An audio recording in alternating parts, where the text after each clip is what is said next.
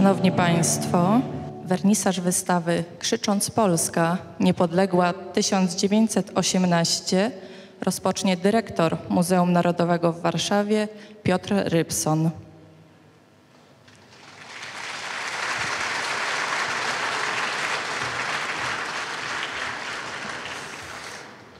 Dobry wieczór Państwu. Szanowni Państwo, wystawa Krzycząc Polska, niepodległa 1918 stanowi zwieńczenie cyklu wystaw, które tutaj w Muzeum Narodowym organizowaliśmy, zatytułowany Trzy razy niepodległa w Muzeum Narodowym w Warszawie. Cykl, który prezydent Rzeczpospolitej Andrzej Duda objął patronatem narodowym. Cały cykl wystaw wpisany jest do rządowego programu wieloletniego Niepodległa. Pierwszy wicepremier profesor Piotr Gliński, minister kultury i dziedzictwa narodowego objął wystawę honorowym patronatem.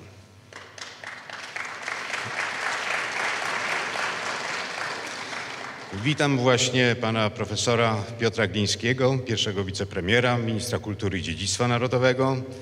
Witam panią marszałek Beatę Mazurek, e, wicemarszałek Sejmu. Witam pana Jarosława Selina, pełnomocnika rządu do spraw obchodów stulecia odzyskania niepodległości Rzeczpospolitej Polskiej.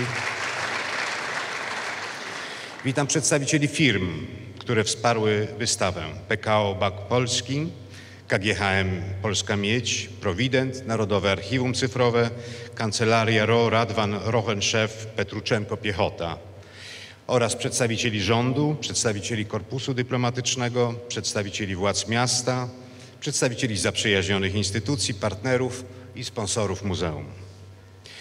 Witam bardzo serdecznie artystów Przemysława Trusta Truścińskiego i Piotra Uklańskiego, którzy zechcieli e, zrobić nowe prace na wystawę. I oczywiście witam bardzo serdecznie wszystkich gości. E, Szanowni Państwo, ponieważ ja wystąpię jeszcze raz, e, niezbyt długo na koniec e, tej części oficjalnej, chciałem od razu podziękować wszystkim instytucjom i prywatnym kolekcjonerom, którzy zechcieli użyczyć obiektów na, na tę wystawę. Chciałbym podziękować artystom, którzy no, stawili czoła wyzwaniu na bardzo wysokiej poprzeczce ustawionym. E, mecenasom wystawy PKO Bankowi Polskiemu oraz KGHM i partnerom wystawy Provident i Narodowemu Archiwum Cyfrowym e, oraz e, partnerom i sponsorom instalacji Piotra Uklańskiego, wspomnianej kancelarii RO Radwan Rochenszew Petruczenko Piechota, a także wszystkim pracownikom muzeum, którzy pomogli mi w tym dziele. Dziękuję bardzo.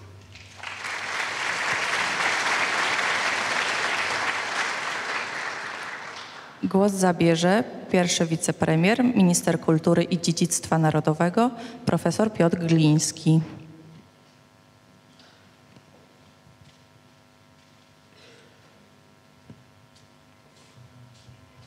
Szanowni Państwo, przede wszystkim bardzo dziękuję za zaproszenie na otwarcie tej wystawy. Cieszę się, że Muzeum Narodowe w Warszawie dołącza już kolejnym wydarzeniem, tak jak mówił pan dyrektor, do przedsięwzięć uświetniających stulecie odzyskania przez Polskę niepodległości.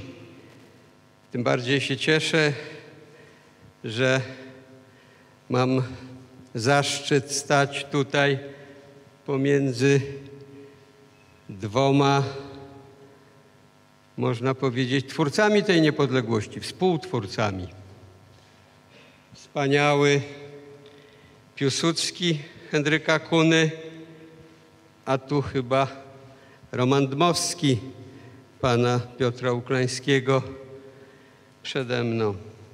Szanowni Państwo, chyba dla nas wszystkich czytelne jest nawiązanie zawarte w tytule tej wystawy do sławnych i znanych, szeroko, szeroko znanych słów utworu Juliusza Słowackiego – szli krzycząc Polska, Polska. Ile, proszę Państwa, w tych słowach dynamiki, napięcia, pożądania, tęsknoty za wymarzoną, upragnioną, wolną i niepodległą ojczyzną. Choć pamiętamy, że zaraz później padły słowa Polska, ale jaka? Pytanie, z którym zmagamy się i dziś, i z którym zmagać się chyba będziemy zawsze. Tak niewiele słów, a tak wiele treści. A przecież trzeba zauważyć, że to tylko część, że to tylko część romantycznej myśli, która jest dziedzictwem polskiej historii wieku XIX i zaklętej w kulturze czego czasu pożądania wolnej ojczyzny. Pozostaje jeszcze Mickiewicz, Norwid, Krasiński, Chopin, Paderewski, Matejko, Gierymski, Grodger. Wszyscy oni, podobnie jak Słowacki, byli wyrazicielami narodowej myśli o niepodległości, o stoi polskiej tożsamości w czasie zaborów. Bez kultury Polska by nie przetrwała, a nie mając państwa, nie mając armii, ale mając kulturę i wspaniałych twórców, przetrwała. A myśl, która doprowadziła i wychowała ostatecznie tych, którzy niepodległość w roku 1918 wywalczyli, była, jak pamiętamy, niezwykle złożona. Można rzec, pulsowała z jednej strony chęcią rewolucji, powstań, konspiracji, radykalizmu, z drugiej spokojnego racjonalizmu i pracy organicznej, ale była to myśl, która mówiła o Polsce i o państwie polskim zawsze jako o podmiocie, o czymś, co jest instytucją odpowiedzialną za całą wspólnotę polityczną. Jednak w tej rozmaitości myślenia było także pragnienie i była tęsknota za znalezieniem tego, co wspólne tego, co jednoczące i dające wszystkim wiarę w lepszą przyszłość. Bo bez tego myślenia wspólnotowego nie ma silnej, nie ma rozsądnej wspólnoty politycznej. Ale taki czas, kiedy można było tę wspólnotę zacząć lepić, nadszedł dopiero na początku wieku XX i nie bez przyczyny chcę podkreślić pewnego rodzaju ładunek emocjonalny i uczuciowy wyrażony tytułem naszej wystawy. Naszym przodkom przyszło po roku 18 budować ojczyznę w zupełnie nowych warunkach. Przez poprzednie 100 lat zmieniła się sytuacja społeczna, struktura społeczna, rozwinęły się techniki i przemysł, dawały to także nowe horyzonty możliwości rozwoju, zmienił się rozkład sił geopolitycznych w Europie, no i przede wszystkim także przebrzmiał wiek świetności Rzeczypospolitej. I w takiej właśnie perspektywie musieli oni wydobyć z siebie energię do ukonstytuowania nowego państwa, począwszy od przysłowionego słupka granicznego, aż do ram prawodawstwa i kultury narodowej, uwolnionej od cenzury zaborców. I mimo wszystko, mimo tych trudności, tych wielkich różnic, przez te niespełna 20 lat w gruncie rzeczy udało się. I z tą właśnie perspektywą ta wystawa nasza nas zapozna, z przeżyciem budowania państwowości, z doświadczeniem niepodległości, z różnymi sposobami myślenia o niepodległości, z różnymi sposobami myślenia o Polsce, z przemianami zachodzącymi w polskim społeczeństwie na początku XX wieku. Cieszę się, że możemy przeżywać dziś tę okrągłą rocznicę w obcowaniu ze sztuką, z dziełami myśli i duszy, bo sztuka tutaj, jak na każdej wystawie w, w tej instytucji, jest najważniejsza. Wykorzystajmy tę możliwość, by przemyśleć własną tożsamość i czerpać z tego, czym dla naszych przodków stała się niepodległość i dążenie do wolnej Polski. Dziękuję bardzo.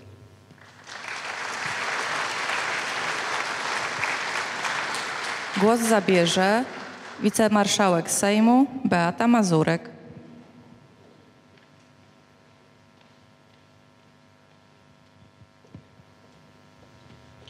Dobry wieczór, panie premierze, panowie ministrowie, panie dyrektorze, szanowni państwo.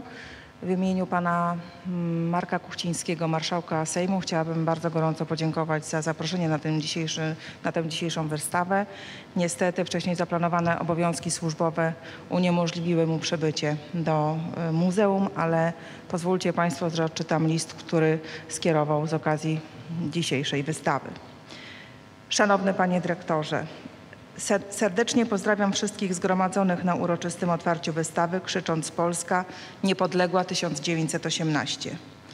Obchodzone w tym roku stulecie odrodzenia państwa polskiego sprawia, że towarzyszy nam poczucie uczestnictwa w historycznym łańcuchu pokoleń i duma z polskości. Ta doniosła rocznica służy niewątpliwie narodowej refleksji. Jest również okazją do pogłębienia wiedzy Polaków o tym, jak nasi przodkowie walczyli o niepodległość.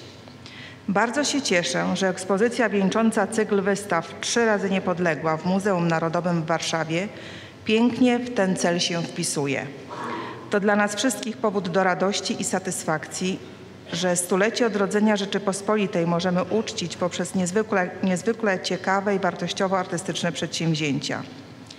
Tym większej, że polscy twórcy zawsze odgrywali niezwykle istotną rolę w życiu kraju i w naszym historycznym marszu ku wolności.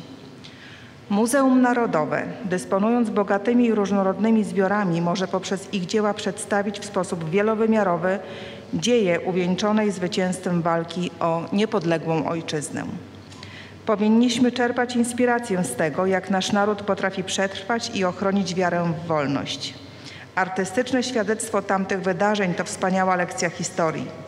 Historii, która dzisiaj stanowi dla nas źródło patriotycznej dumy i radości. Ufam, że właśnie te uczucia towarzyszyć będą wszystkim oglądającym prezentowanym przez Muzeum Narodowe ekspozycję.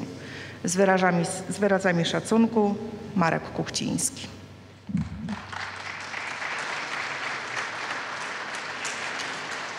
Głos zabierze przedstawiciel mecenasa wystawy Rafał Antczak, wiceprezes zarządu PKO Banku Polskiego. Dobry wieczór. Mecenat PKO Banku Polskiego nad wystawą Krzycząc Polska niepodległa 1918 e, zorganizowaną w gościnnych progach Muzeum Narodowego jest spójny z misją banku Wspieramy rozwój Polski i Polaków.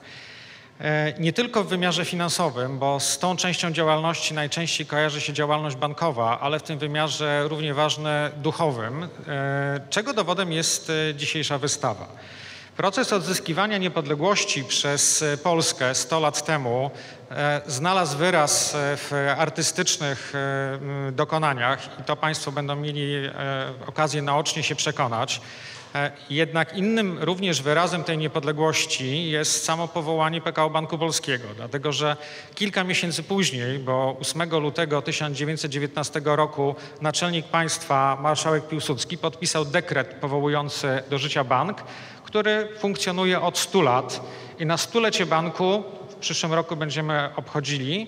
E, Bank już obecnie jest najcenniejszą polską spółką, która niedawno weszła do indeksu globalnego FTSE Russell, największych spółek e, na świecie, co jest, wydaje mi się, pewną klamrą spinającą tą historię stuletniego rozwoju Polski, zarówno w wymiarze właśnie e, finansowym, jak i duchowym. E, O tyle jest to ważne, dlatego że awans ten banku miał miejsce z awansem całej gospodarki. Polska gospodarka niedawno została uznana wreszcie za gospodarkę rozwiniętą i to świadczy o sukcesie, który odnieśliśmy. W PKO Banku Polskim mamy również e, takie mniej znane powiedzenie, co jest dobre dla Polski, jest dobre dla banku. I skoro zatem dzisiejsza wystawa będzie dobra dla Polski, to będzie również dla banku. Dziękuję. Głos zabierze przedstawiciel mecenasa wystawy Paweł Gruza, wiceprezes KGHM Polska Miedź. Dobry wieczór Państwu. Pani Marszałek, Panie Premierze, dostojni goście. E, Muszę przeprosić, e, nieobecność e, prezesa Chrudzińskiego jest spowodowana nieprzewidzianymi zdarzeniami drogowymi. Niemniej jednak e, chciałbym odczytać e, list pana prezesa i całego zarządu e, związany z tą uroczystością, z tą wystawą. KGHM Polska Miedź nieprzerwanie od dziesięcioleci kultywuje tradycje, które budują tożsamość narodową, regionalną oraz lokalną. Spółka od lat jest mecenasem polskiej kultury, narodowego dziedzictwa i wspólnego dobra. Wiemy, jak ważne jest zachowanie w świadomości Polaków tych doniosłych wydarzeń, jak również utrwalenie pamięci historycznej i narodowej. Dzieła o wartości artystycznej i historycznej kształtują wrażliwość następnych pokoleń i budują naszą tożsamość. Pielęgnują również pamięć o naszych przodkach i poświęceniu, ich poświęceniu i odwadze. Wszyscy jesteśmy odpowiedzialni za utrzymanie spuścizny historycznej, kultywowanie tradycji oraz pamięci minionych wieków i tej bliskiej nam czasowo. Karty historii dowodzą o sile narodu polskiego, który w najtrudniejszym czasie z odwagą patrzył w przyszłość i potrafił współdziałać, jednocząc wysiłki we wspólnym celu. E, Szanowni Państwo, ja od siebie także chciałem powiedzieć, że KGHM jest spółką globalną. Mamy aktywa zagraniczne, za które jestem osobiście odpowiedzialny i te pierwiastki, te elementy, ta myśl e, polska narodowa będzie także obecna w naszych spółkach za granicą na kilku kontynentach, e, od Chin poprzez Kanadę, Stany Zjednoczone po e, mm, dalekie Chile. E, Jednym słowem, jesteśmy zaszczyceni możliwo, możliwością bycia mecenasem tej szlachetnej inicjatywy. Dziękuję.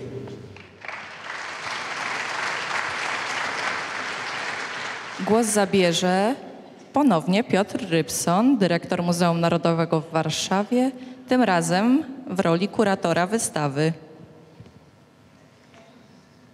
Szanowni Państwo, ponieważ e, wszystkich przywitałem, nie będę powtarzał tych powitań. E,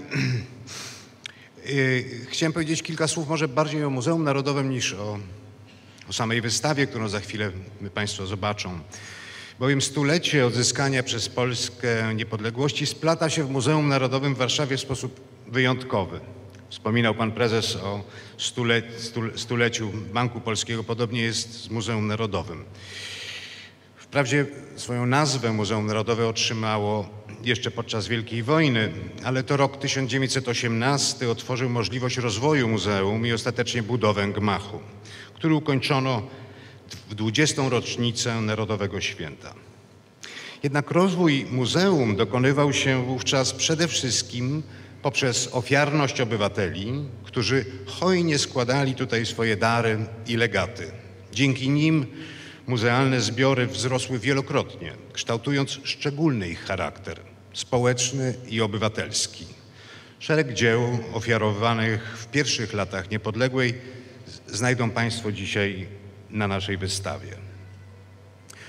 Powstają współcześnie liczne projekty nowych muzeów i niekiedy z zazdrością spoglądamy na ich rozmar. Rozmach finansowy, przestrzenny.